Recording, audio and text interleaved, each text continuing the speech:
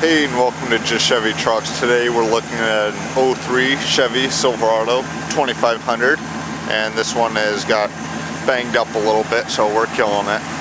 What it's got is a great running 6 liter. This is a low mile 6.0. It's about 81,000 miles which is very low. As you can hear it's purring away in there, very smooth running motor.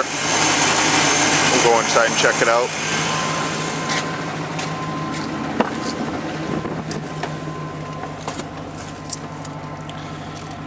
There is the mileage coming in at 81,169, which is nothing for one of these LS motors.